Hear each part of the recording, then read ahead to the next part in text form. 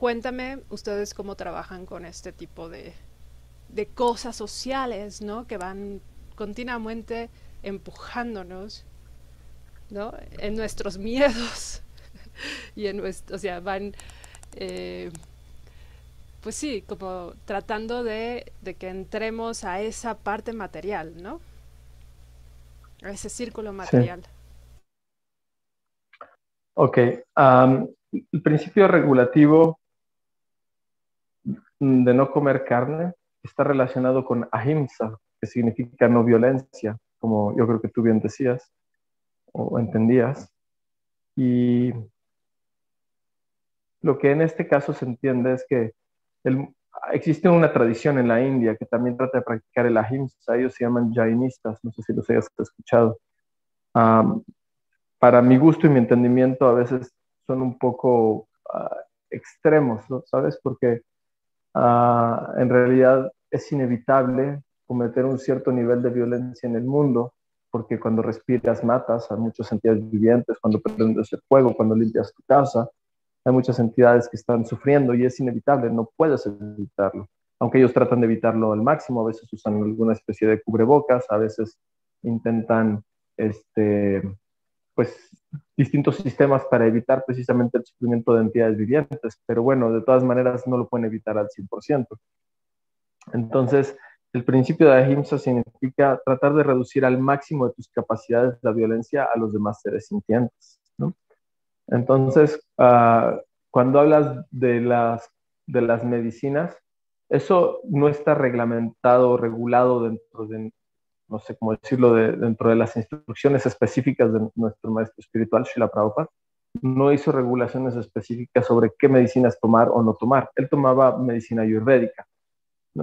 Y la gran mayoría de nosotros tiende a evitar medicinas alopáticas si no son necesarias, pero hay veces que lo, se vuelven necesarias, es decir, una vez tuve un, un, accidente, fui al hospital y te meten varias cosas que es casi inevitable que te las pongan, ¿no? Tampoco entramos en una situación así o de evitar transfusiones, porque en últimas la vida espiritual también tiene un condimento práctico, ¿no? Si te vas a morir por, porque no te pueden hacer una transfusión de sangre, ¿cuál es el sentido, ¿no? Entonces, hay el, condimento, el, el sentido práctico es que tú ocupes todo lo que existe para un principio superior.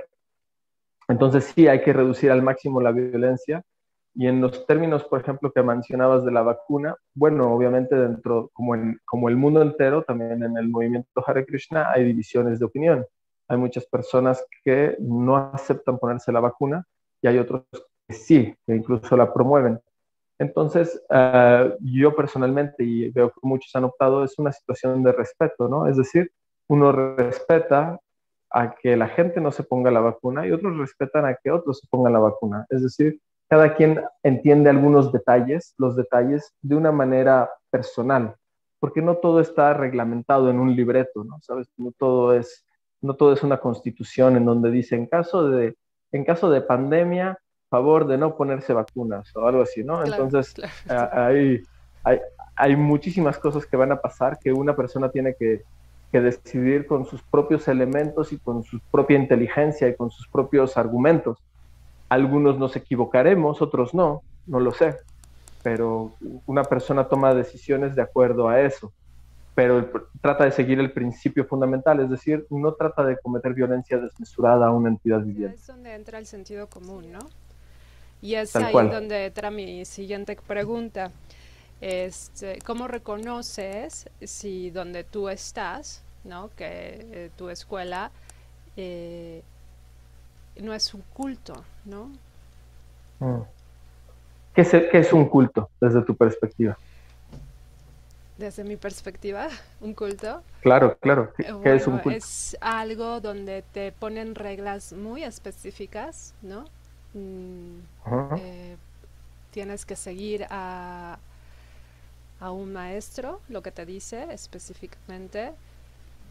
Uh -huh. Y normalmente los seguidores no tienen que mezclarse con el mundo. O sea, bueno, okay. se mezclan, pero no, o sea, a mitad, ¿no? O sea, no hacen las mismas cosas que todos, se visten diferente, eh, tienen ciertas reglas y bueno, pueden caer en diferentes tipos de degradaciones, ¿no? Ya sean sexuales, ya sean, este, bueno, de dijiste deben evitar, ¿no? Dijiste, pueden evitar degradaciones, eso. No, pueden caer. O pueden caer. cultos, sí, pueden caer en, degradaciones. Ah, ya, hay cultos sexuales, dices, ¿no? sí, cultos sexuales, cultos o sea, no nada más es el único punto, ¿no? La sexualidad, pero son, este, como, oh, si, o sea, si el gurú dice hay que suicidarse, se suicidan, si el gurú dice ya viene el fin del mundo, cámbiense todos a este lugar, se van a ese lugar, ¿no?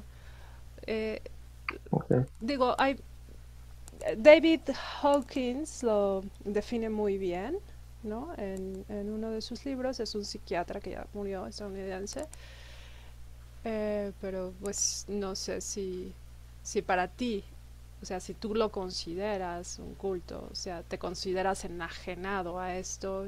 Ok, la, la primera parte de la descripción que diste de culto me sonaba a cualquier religión que conociera, ¿no? Es decir, seguir un maestro, congregarse y seguir ciertas regulaciones. Eh, básicamente eso es algo que suele verse en todas las tradiciones, incluso la vestimenta a veces cambia en ciertas partes, ¿no? Por ejemplo, cualquier monasterio católico o cualquier derviche, ¿no? Cualquier grupo de los derviches o cualquier etcétera tienen vestimentas que suelen ser un poco diferentes, ¿no? Incluso entre naciones existen, ¿no? Obviamente, por ejemplo, los esenios eran considerados un culto dentro de un sentido, pero al mismo tiempo eran una, o sea, una de las cuatro eh, tradiciones de, de los judíos entonces, este, pero cuando entraste en los otros temas que hablaban de sexualidad, de suicidio, que son cosas que han pasado, hemos visto en varias, varios cultos, no, no son tradiciones.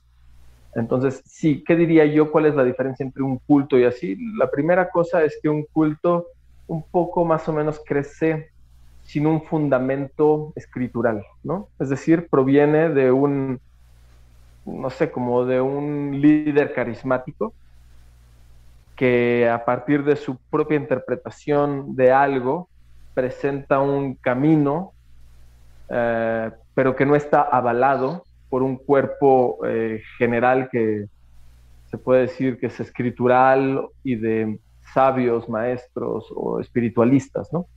Entonces, cuando no existe ese aval, existe la posibilidad de que sea un culto y por lo tanto uh, sí es que hay, que tener un poco de cuidado. Por eso a veces es, ¿dónde dice eso? ¿Por qué dices tú que eso es así? Entonces se puede cuestionar al maestro. De hecho, uh, una de las cosas que dice el Bhagavad Gita cuando uno acepta un maestro espiritual es que se le hacen preguntas, ¿no? Se le hacen preguntas, porque uno no debe tener una adherencia ciega a un maestro espiritual. Tener una adherencia ciega puede pues puede ir en contra de principios fundamentales de tu propia vida. Ah, después, por otra perspectiva, el movimiento Hare Krishna en los años 60 ah, fue, en los años 60, 70, fue ah, como, no sé, como atacado, por así decirlo, por algunos grupos anticultos, así se llamaban, que no sé si realmente lo fueran así, más bien parecían como alguna especie de gángsters, que era, pero porque se robaban a la gente y todo eso, ¿no? Ay, qué horror. Fueran, no es que fueran filosóficos, pero sí se robaban a, los devotos y los, los trataban de reprogramar según ellos, ¿no? Entonces les ah, obligaban a comer carne. Entonces, entonces, a partir de eso hubo un juicio en New York, en Nueva York, hubo un juicio uh, en el cual se, se había demandado a ISKCON por ser un culto y, y, en la corte, pues los devotos, en esos tiempos estaba Prabhupada, uh, pues demostraron que estaba avalado en escrituras milenarias y que no pertenecía por lo tanto a un principio de culto, simplemente era algo diferente, que la gente no estaba totalmente habituada. Y la corte declaró que el movimiento Hare Krishna era una religión y tradición genuina y no era un culto. Entonces quedó así eh, establecido dentro de la ley. En la gran mayoría de los países el movimiento Hare Krishna es una AR, una asociación religiosa. Y, este, y algo más iba a decir, pero se me fue la vida. Entonces eso. Ah, ok, sí, o sea, gracias porque bueno, sí es muy importante. Ah, sí te iba a decir algo más, ya sé que ya sé qué más. Entonces, claro, al principio, los, este, obviamente los papás, pues ya sabes, imagínate, señores un poco, pues no sé, digamos, más o menos conservadores, que estaban, pues primero experimentando la ebullición del movimiento hippie, que era una, un momento así, y luego ver que sus hijos iban a un movimiento Hare Krishna donde tal vez tal vez los devotos eran un poco fanáticos, no me cabe, la, no, no, me cabe duda de que sea posible, de que lo hayan sido, pues venían de una situación, pero lo hacían con mucha intensidad y con mucha devoción, no obstante.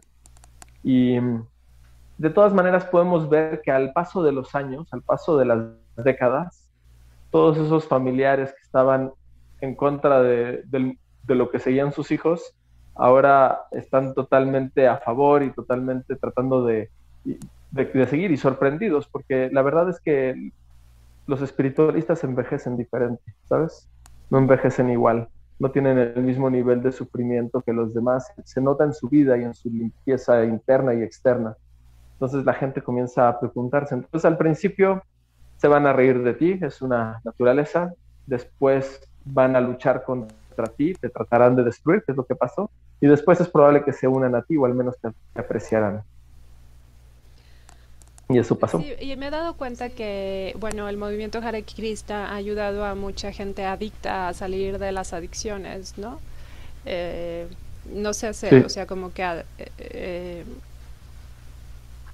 les, les ayuda. No, no, no, nos enfocamos en eso, pero no es que nos claro, no, no, nos enfocamos en eso, no es que es, nuestro objetivo es ir con los alcohólicos y liberarlos de eso, pero hay un mantra en el Bhagavad Gita que dice Param Dristam Nivartinte, que significa que cuando hay un placer superior, uno puede abandonar los placeres inferiores. Y el placer de las drogas o el alcohol, etcétera, se puede considerar un placer inferior. Y cuando uno tiene, por así decirlo, como su conciencia elevada naturalmente, entonces es normal que empiece a dejar todas estas sustancias.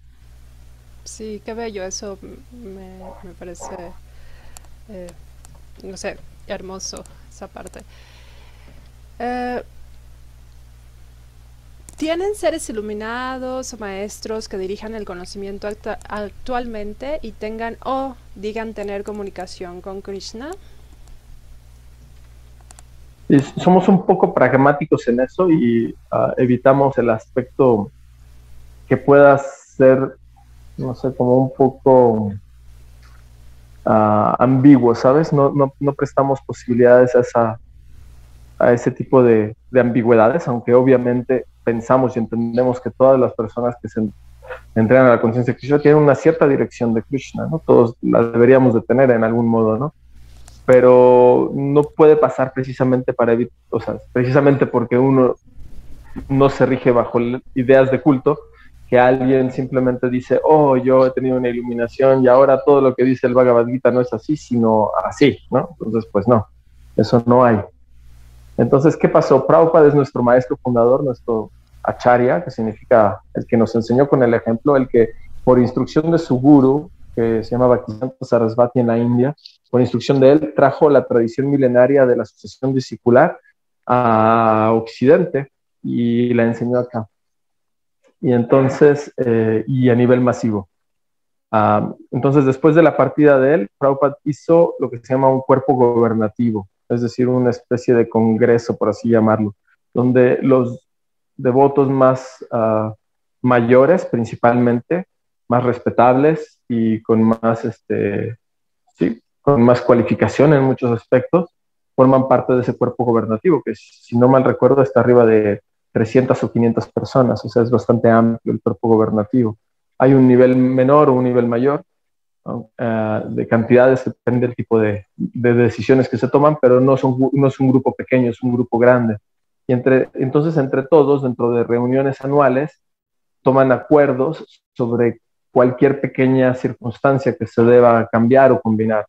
Obviamente dentro de ellos puede haber personas muy elevadas y muy iluminadas, pero cuando están sentadas en la mesa, la palabra de todos vale igual, ¿sabes? No es como, como ah, la palabra de acá, este el Swami y este no tanto, ¿no? Sino cuando están sentados es un, es una, es, es, es un congreso tal cual, es un parlamento. Entonces tenemos un cuerpo parlamentario que dirige el movimiento. Ok, una mesa de Arturo, del rey Arturo. Ajá, pero con, pero con más caballeros. Claro, sí.